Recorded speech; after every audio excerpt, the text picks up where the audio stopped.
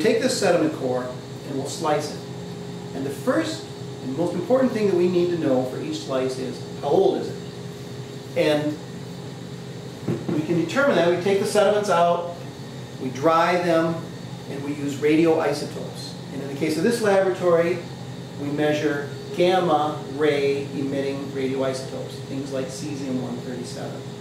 And cesium-137 is a marker for the year 1963 because it was released by above ground nuclear bomb testing, which was banned in 1963.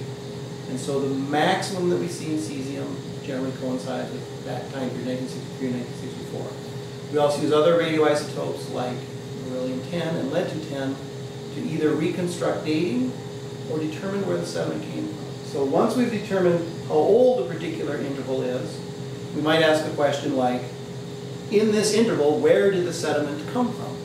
And using other radioisotopes or other tracers, sometimes lead, which used to be an additive in gasoline and was removed in the 1970s, the amount of lead can also tell us where the sediments came from. We'll determine did that sediment, in the case of something like Lake Pepin or this drainage ditch, the core that I had, we'll determine if it was eroded from a field or from a bluff or stream bank. And this, the simplest way we do that is things like fields, which get rained on, receive cesium and lead-210. Things like a bluff and a stream bank, which really don't get rained on, don't have those radioisotopes. So in some cases, simply the presence and absence of a radioisotope tells us where the sediment came from.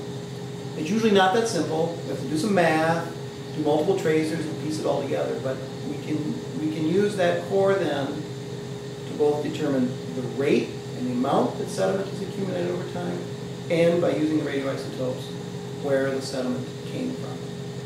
And of course, each slice is also useful for things like phosphorus, nitrogen, the amount of algae eutrophication that's in the lake. And in the case of Pepin, where it's receiving inputs from an urban environment also, mercury, heavy metals, uh, and now other uh, contaminants like dioxin and triclosan